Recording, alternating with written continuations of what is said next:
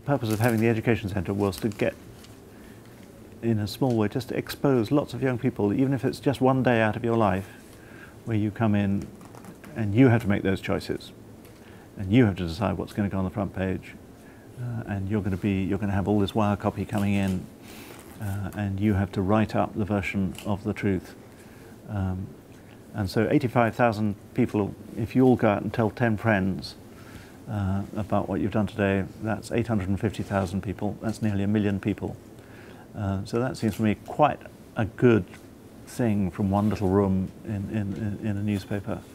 Ne ne nearly a million people grow up thinking, hmm, there's something in this news business after all.